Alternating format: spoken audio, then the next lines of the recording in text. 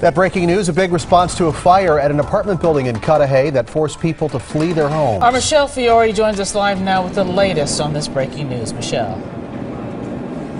Hi, Kara. Well, we're standing here in the 3900 block of Layton. It is a popular spot behind me. You can see a couple of restaurants. There's also a city lounge over here. The building behind me, this is where it all happened. Fire right around 4 o'clock. You can see the dark black fire stains on the side of the building still. Now, Chopper 4 got a bird's eye view earlier on. This is a rooming house that I'm told with more than a dozen rooms inside. All the residents were evacuated. Right now, I'm being joined by Cudahy's Mayor John Hohenfeldt. Mayor, what can you tell us about what happened out here today? At approximately 4 p.m., 3400 block of Layton Avenue, Cudahy Fire Department, Cudahy Police received a 911 call for a, report of a fire on the third floor of the building.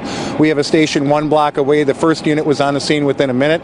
Between our other station and mutual aid between St. Francis and South Milwaukee and the 128th, we had units on the scene within a couple minutes. All of the residents had been evacuated, doing what they needed to do. Once they heard the, the, the fire going on, pulling the smoke alarms, knocking on doors, getting people out of the building, everybody was evacuated safely. That's good to know. Any problems with this building in the past, Mayor? Uh, about a year or so ago, they, they had some issues with the boiler system where the, the residents had to be removed. The boiler had to be fixed, so the building was condemned for a while.